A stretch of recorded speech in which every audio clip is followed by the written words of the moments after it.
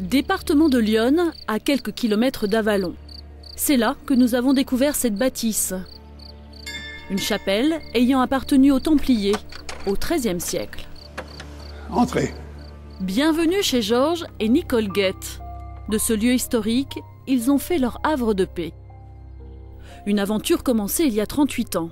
À cette époque, transformer un lieu sacré en habitation était impensable. C'était d'ailleurs une première en France. Tu fini par trouver ce que tu cherchais Ouais, oui, j'ai trouvé, mais Et Georges et Nicole, quand vous avez trouvé en fait cet endroit, ça ressemblait à quoi exactement? Ça ressemblait à un, un lieu obscur, très obscur, puisque toutes les baies que vous voyez ouvertes aujourd'hui étaient murées. Et un lieu moite, parce que le- c'était habité par les animaux, les vaches, les moutons, les porcs, et les mouches par milliers.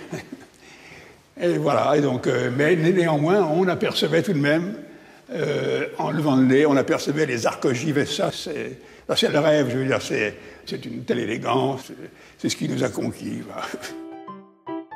Pendant 15 ans, ils vont entreprendre des travaux titanesques et passer de nombreuses nuits sous la tente pour métamorphoser cet édifice religieux en maison.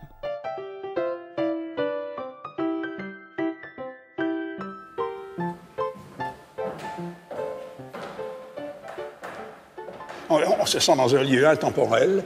Ce qu'on aperçoit vaguement par les baies, qui sont en fait, au fait, c'est surtout la nature qu'on voit. Mais enfin, si on voit un bout de bâtiment là, il ne nous semble pas qu'il il appartienne à, no- à notre époque. On est complètement hors du temps. On vous dira à quel, temps nous sommes, je ne pourrais pas, mais on n'est pas dans le temps présent en tout cas. Et on sent bien qu'on est dans le sacré, sans en faire une question de foi personnelle. Euh, on éprouve instinctivement un certain respect pour ce que les gens sont venus chercher ici, ce qu'ils ont senti. Pour ça que je vous disais, sous ces murs sont pleins de fantômes. euh, on, en est bien conscient. Et on est parfois même on va jusqu'à entendre les, les robes des Templiers qui frottent le sol comme ça. Ça fait marcher l'imagination.